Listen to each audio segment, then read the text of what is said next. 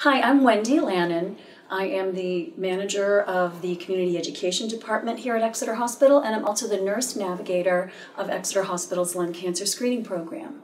I'm John Brennon. I'm a pulmonologist at Exeter Hospital, and uh, i have an interest in lung cancer and lung cancer screening. We're going to talk to you today about the importance of screening for lung cancer in high risk patients. Uh, lung cancer is the, uh, still the most common cause of cancer deaths in the United States. And traditionally, it presents at a later stage, which uh, leads to a poor prognosis. A lot of cancers in the lung, they don't have any symptoms until uh, they're fairly advanced. We know that the two big risk factors are smoking and age, especially the uh, accumulated uh, years of smoking and there's been a, a number of trials studying screening with a once once a year low radiation dose CAT scan of the chest to screen for lung cancers when they're at an early stage. They present as a, a, spot in the lung, a pulmonary nodule, uh, where they can potentially be cured with surgery. Sometimes they can be cured even with uh, radiation therapy. Eligibility right now for uh, lung cancer screening is people that are age 55 to 80 with a 30 pack year smoking history. Uh, that pack years means approximately a pack per day for a total of 30 years. And when someone's quit for 15 years, uh, they're no longer eligible because the risk uh, decreases so much. There's some new guidelines from the U.S. Uh, Preventative uh, Service Task Force that's likely going to lower that age from uh, 55 to start screening at age 50. And lowering the pack year from 30 to 20. So that's likely uh, coming down the road. Right, right. And you know, I think it's it's also important to know with the eligibility criteria that patients have to meet all of the different criteria. So it's not you can be a certain age range, but if you don't meet the pack year history designation that Dr. Brennon mentioned, then you're not eligible. So it's important, just it bears repeating, that um, the current guidelines are age 55 to 80. If you're a Medicare beneficiary, if Medicare is your insurance carrier, the upper age limit right now is 77. And you have to have at least a 30 pack year history of smoking, so 30 is the minimum. Um, so, for example, one pack a day for 30 years, two packs a day for 15 years at the very minimum. That's how we calculate pack year history. And again, as Dr. Brennon mentioned, um, current smokers, of course, are eligible. Um, and if you're a former smoker, you have to have quit less than 15 years ago. So each one of those criteria have to be met in order to be screened for lung cancers because that puts you in a high risk category. Um, we also want to make sure that people don't have any signs or symptoms that could suggest that perhaps lung cancer is present because screening is really about early detection. We want to be looking at folks who are not um, showing any symptoms um, to make them eligible for screening. So that's another criterion that would need to be met. Uh, so these uh, guidelines were based on a, a, number of studies, but one of the, the major studies, the National Lung Screening Trial, showed that in this group of patients, a once a year CAT scan of the chest reduced the risk of dying from lung cancer by 20%, and it reduced the overall risk of dying. Uh, the number we like to talk about is for every thousand patients we screen, it saves three lives. So that's very good data. Yes, it's a very powerful tool. And when we saw the results of the National Lung Screening Trial come out, so many of us in healthcare were very, very excited because we finally had a screening test that could reduce the risk of dying from lung cancer.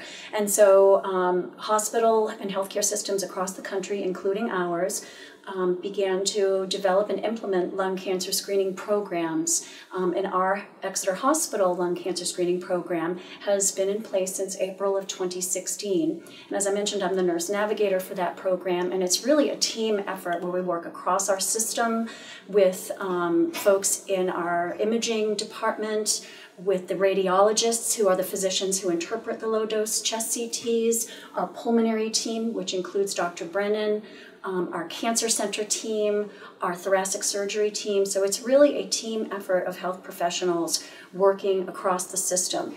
And it's important to emphasize that lung cancer screening isn't a one and done process. That's why we call it a program. When people enter into the program for their initial screening, we then put them into a particular um, tracking system that I monitor. And so when somebody is due to come back for their annual lung cancer screening, because we want this to be done every year, that's where we get the benefit of um, reducing risk of uh, lung cancer uh, death.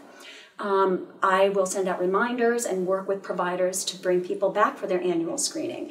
And then if we find anything suspicious that requires a follow up chest CAT scan in, say, three months or six months, depending on the type of finding, then we work as a team to make sure that we're reviewing those images and that um, the full physician team is in agreement with the results. And then we work on, okay, what follow up does that patient need given their result? And certainly Dr. Brennon can speak more to that because he is directly involved in that process. When a patient has uh, one of these uh, screening CAT scans, they'll get a report if we do find a spot in the lung, also called a pulmonary nodule, many times these uh, nodules are benign, meaning they're not cancerous, in which case we will follow them at periodic intervals just to make sure they're not growing.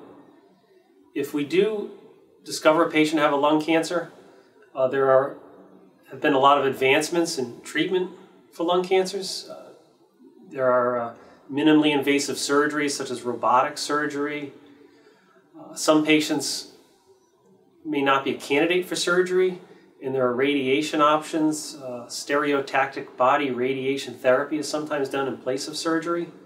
There are also other advancements if we do discover something more advanced uh, in terms of chemotherapy.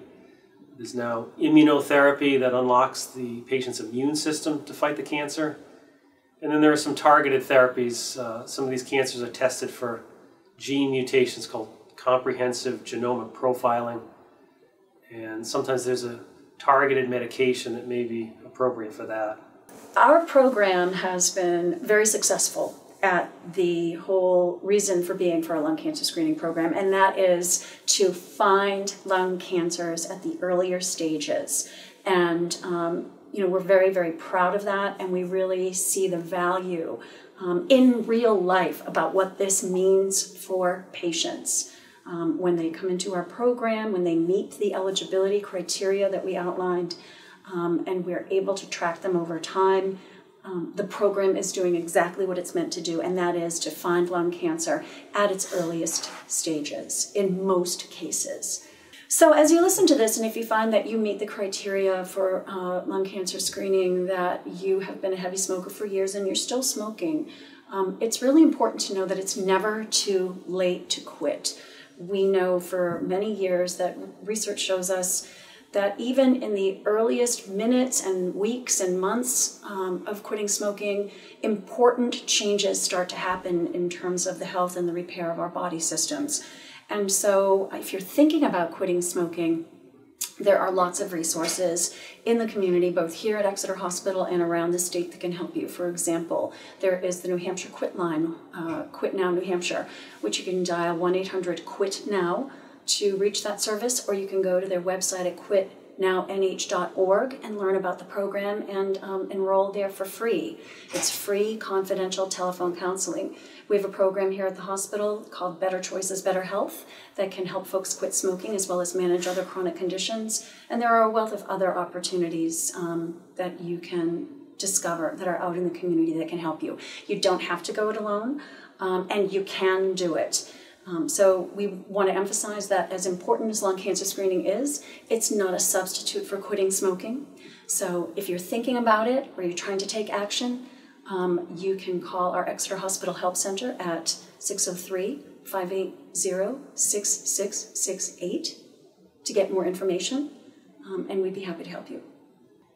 So, if you meet the high risk eligibility criteria for lung cancer screening, give your primary care provider a call and just let them know that you're interested in talking about lung cancer screening, that you uh, believe that you meet the criteria, and you'd like to sit down and have a conversation with them about that.